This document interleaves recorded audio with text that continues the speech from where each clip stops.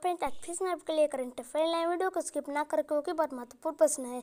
चलिए बिना देरी के वीडियो को शुरू करते हैं। आपका पहला प्रश्न हो जाएगा, प्रधानमंत्री जनजाति आदि, आदिवासी न्याय महाअभियान पीएम जनमन के लाभार्थी कौन है?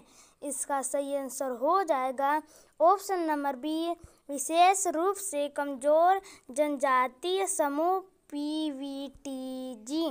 आपका नेक्स्ट प्रश्न हो जाएगा चौदह जनवरी 2024 को रानी मार्गेर्थ ड्रीति के बाद डेनमार्क के नए राजा के रूप में कौन नियुक्त हुआ?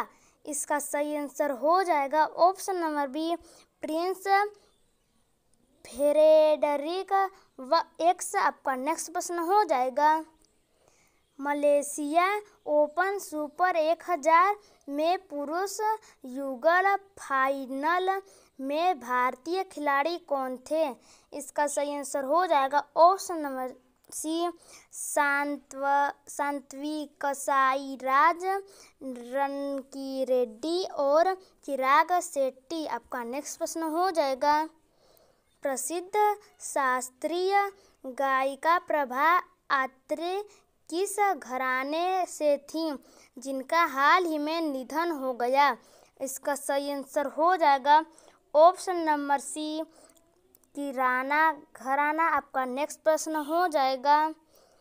किसी वनडे इंटरनेशनल मैच में सबसे तेज सात विकेट लेने वाले गेंदबाज कौन बने हैं? इसका सही आंसर हो जाएगा।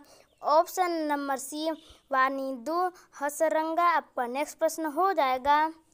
इंटरनेशनल कैमल फेस्टिवल का आयोजन राजस्थान के किस शहर में किया गया? इसका सही आंसर हो जाएगा ऑप्शन नंबर सी, बीकेनार। आपका नेक्स्ट प्रश्न हो जाएगा। टी ट्वेंटी इंटरनेशनल में 150 मैच खेलने वाले पहले पुरुष क्रिकेटर कौन बने हैं? इसका सही आंसर हो जाएगा option number D, Rohit Sharma. आपका नेक्स्ट प्रश्न हो जाएगा। भारतीय सेना दिवस प्रतिवर्ष कब मनाया जाता है? इसका सही आंसर हो जाएगा ऑप्शन नंबर डी, पंद्रह जनवरी। आपका नेक्स्ट प्रश्न हो जाएगा। हाल ही में secure army mobile ecosystem ecosystem Sambhav को किसने लॉन्च किया? इसका सही आंसर हो जाएगा option number C, Indian army. आपका नेक्स्ट प्रश्न हो जाएगा।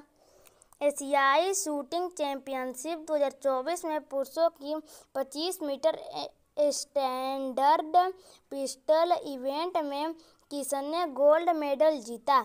इसका सही आंसर हो जाएगा option number A, Yogesh Singh. अगर दोस्तों वीडियो थोड़ी सी पसंद आई हो तो इस चैनल को लाइक सब्सक्राइब करें, क्योंकि इस चैनल पर हम हमेशा ऐसे ही करंट अफेयर लाते रहते हैं।